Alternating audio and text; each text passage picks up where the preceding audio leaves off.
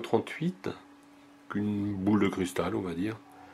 Et puis 6 figures au pourtour. Donc on va voir de l'aide un petit peu, on va voir les, les, deux premières figures qui vont nous être données, on va voir comment. Et après à nous de trouver l'ordre exact dans lequel il faudra appuyer pour ouvrir la porte, enfin surtout aller au passage qui nous mène au niveau 39.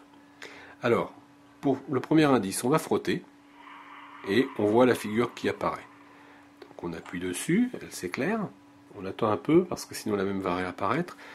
On frotte de nouveau, c'est trop tôt, c'est toujours la même.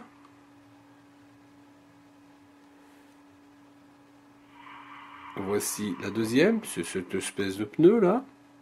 Voilà, ça sont nos deux premiers indices. Et donc il va nous falloir trouver la suite logique pour aller au niveau supérieur. Donc nous l'avons fait.